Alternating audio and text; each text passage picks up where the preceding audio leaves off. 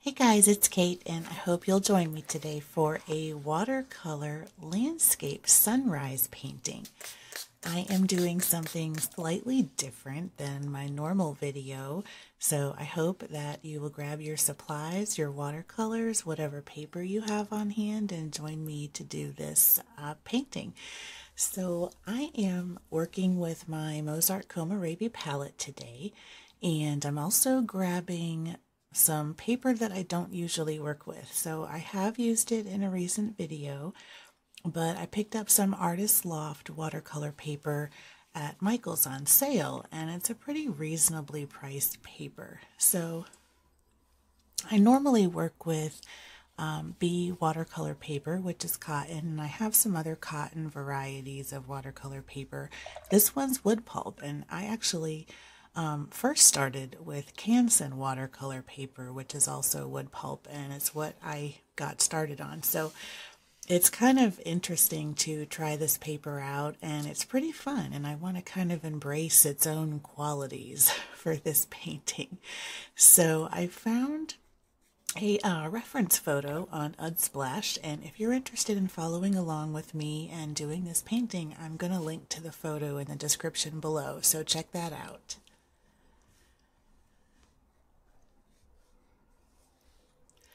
But I thought it would be pretty fun to do a painting like this today, just as a little bit of a departure from the normal abstracts I do.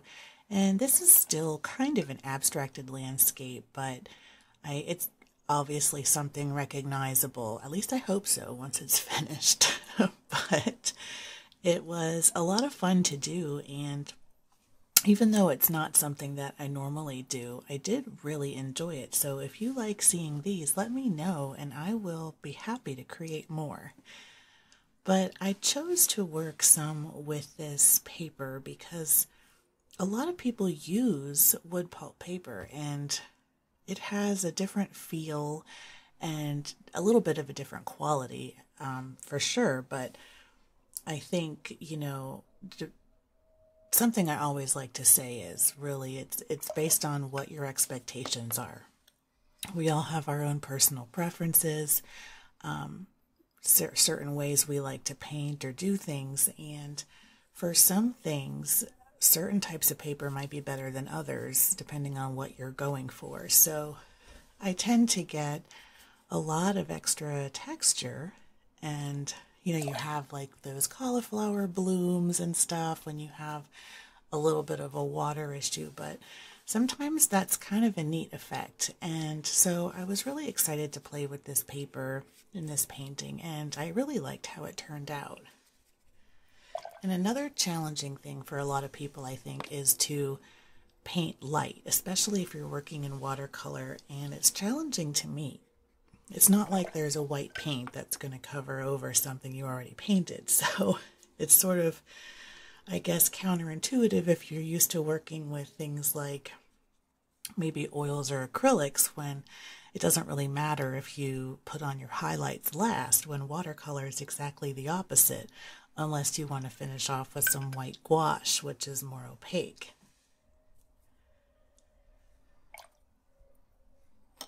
So I really wanted to practice something uh, with light, and I thought that a sunrise would be kind of the perfect thing. And I love landscapes, and I love plant or painting trees and foliage. And well, if you've been on my channel for long, you know leaves are one of my favorite things. Basic, complicated, bushes, trees, whatever.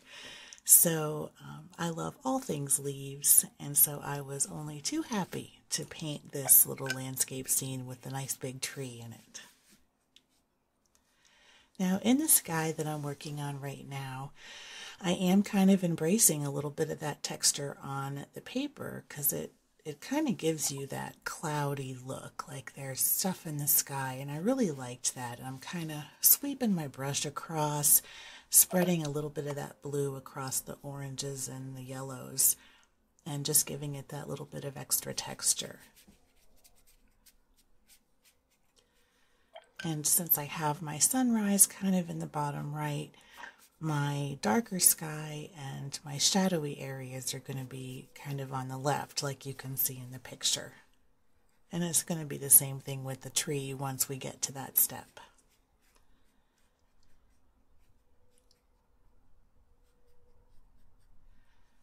But when I first started this painting, I went immediately for the light spot first. So you'll remember I put basically a big block of yellow even under where the grass is and everything. And it just kind of gives it that nice base of brightness that will still shine through even with other layers on top like the greens of the grass and stuff like that.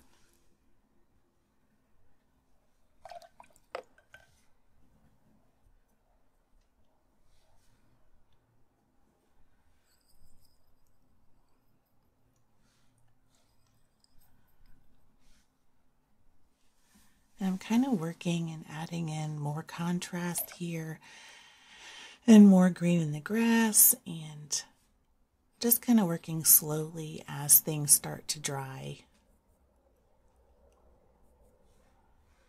And I also let it dry between a couple of the layers also. I don't want it to get too muddy, but I do want to introduce some texture with my brush and kind of go over some of the same areas again. And I like putting that contrast line of the horizon there because it really makes that brightness of the sunrise pop even more and stand out. And I was really happy with how that turned out with just really showing the light in the painting.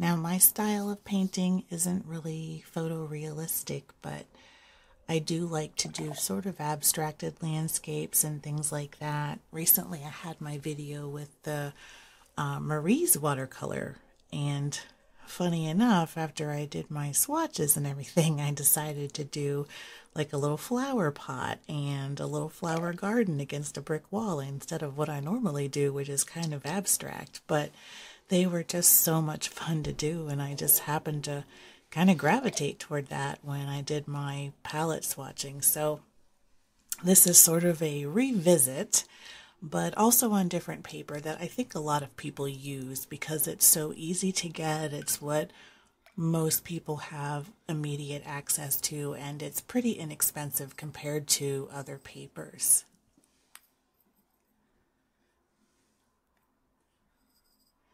And while there is a difference in papers, you can certainly paint on a lot of different surfaces. And as long as you know what to expect, you can make it work.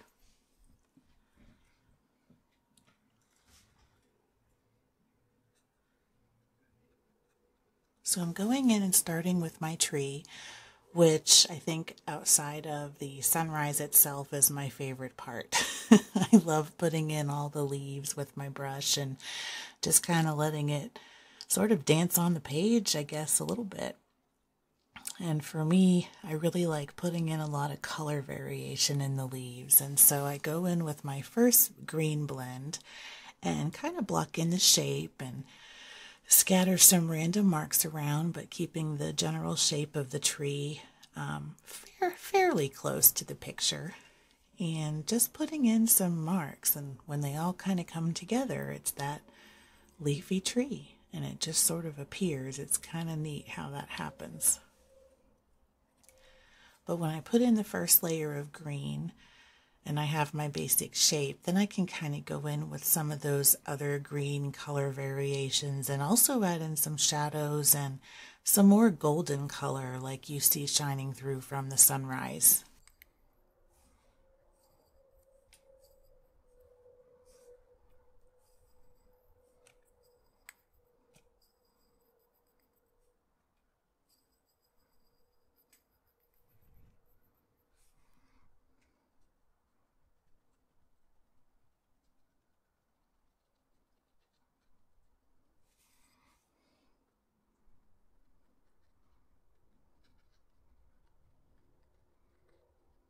And I think in terms of painting, that's really what kind of makes it.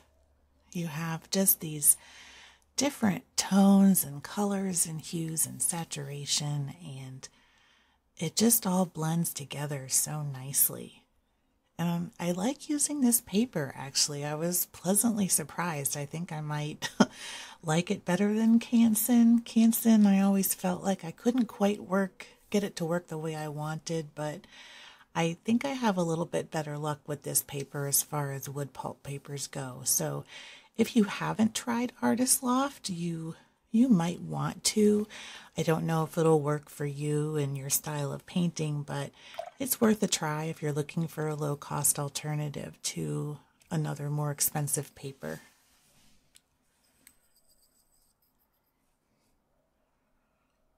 So I'm going in with some darker Payne's Gray over to the left. I'm definitely kind of keeping a little bit a little bit darker, cooler on the left side of the tree, just like in the sky. And then I'll still have some shadow areas toward the right, but as you can see me going through, my brush strokes get a lot fewer with the darker color, and I kind of load it in more on the left where I want my shadows.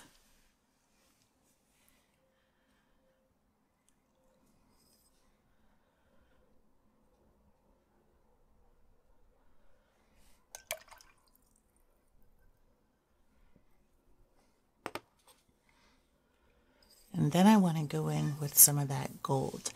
And I've got some green in there that's still mixed in, and that's fine with me. I just want to introduce that yellow that will almost kind of be like sun shining through the tree. And it adds that warmth to it. So I'm going to put that over to the right and bring it into the left a little bit, but like with the dark Payne's Gray mixture, not as much toward the left. Just a little hint.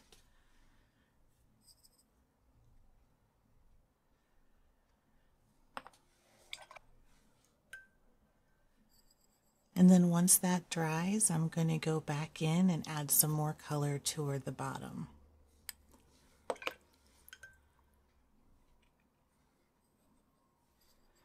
I want to get some more shadows into that grass and also darken up some other areas of the painting.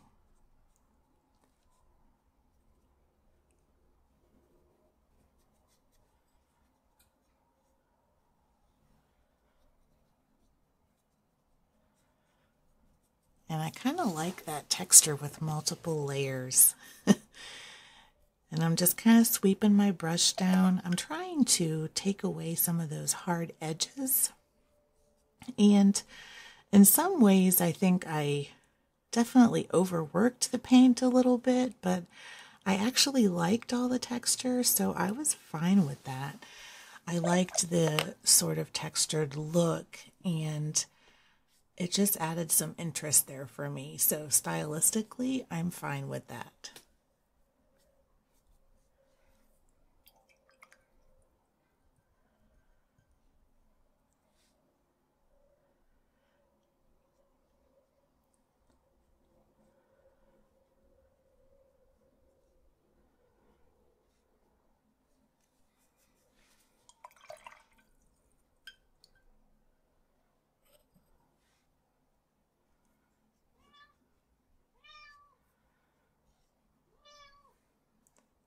Of like that sort of pattern on the paper too. You can see the texture come through, especially in the grassy area that uh, where the color kind of sinks into the the dips in the paper.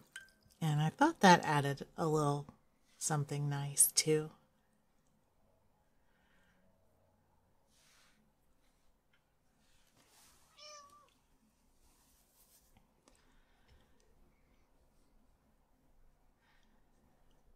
Definitely a good day for an experiment.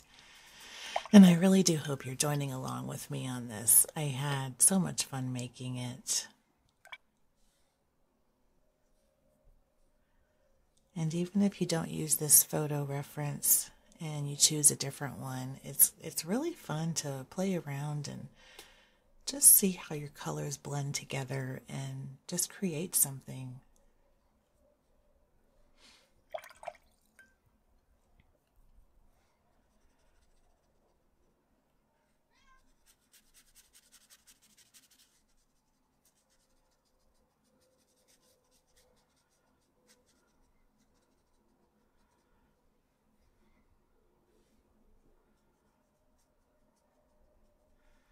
So I'm trying to get my last bit of shadows in there. And I'm also going into the deep black now with my liner brush.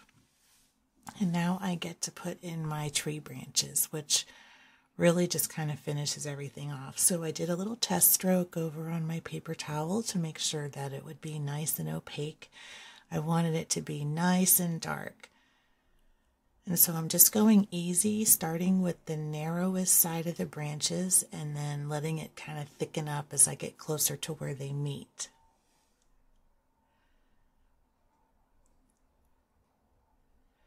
And because I kind of went a little bit on my own style with the leaf pattern, I'm not following along too closely with the picture as far as where the branches go. I'm just kind of putting them where they feel right, but I am following the general shape of the large branch that's in the photo.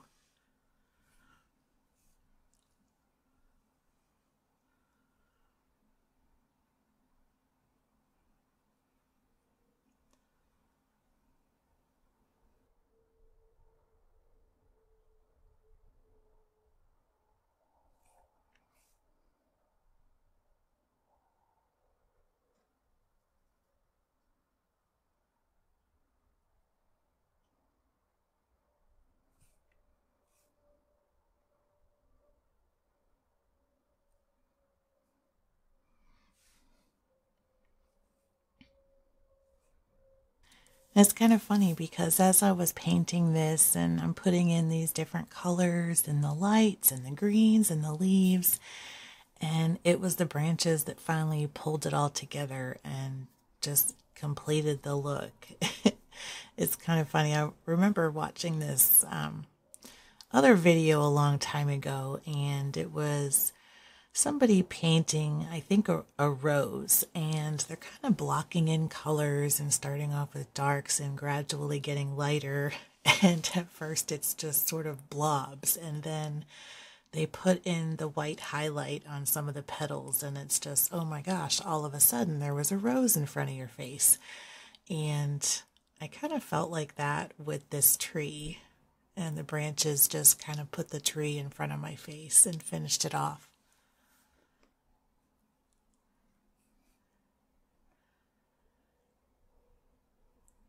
I was just so happy with the way this turned out, especially using a paper that I'm not really familiar with and don't use.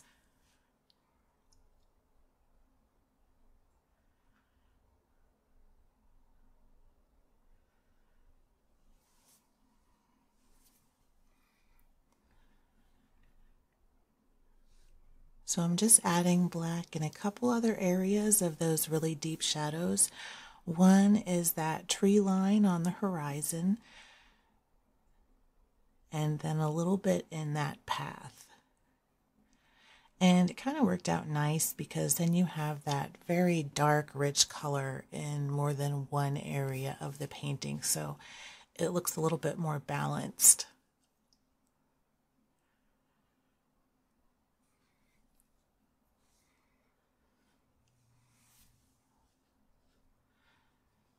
But all in all, I am pretty happy with this paper. it's an affordable way to have fun with paints.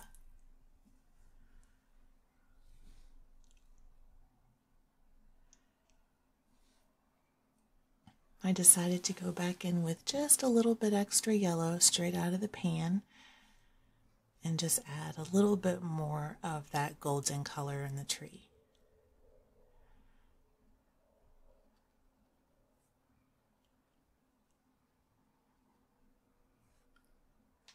I'm just being careful to avoid the branches so that they don't bleed together. I don't want the black to go anywhere else but on the branches.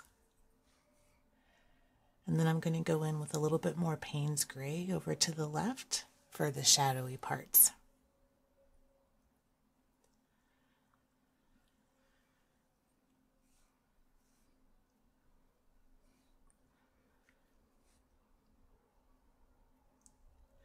And I think mine is drying time. This whole painting didn't really take all that long. I have the footage sped up a little bit, but not too much. And I was able to complete several layers, so it was a really fun project, not hard. I think if you're a beginner, this would be a great starting point and just um, just dive in and do it. And just play with your color, see how it blends on your paper, and just work on your colors and shadows and highlights. And it doesn't have to be exact, it can be whatever your style is. And so I finished it up and I am officially taking off the tape. And here is your close up. So, again, if you're interested in doing this, um, click the link below to get the photo reference. And I hope you enjoy this project. And thank you again for watching today. And until next time, keep creating.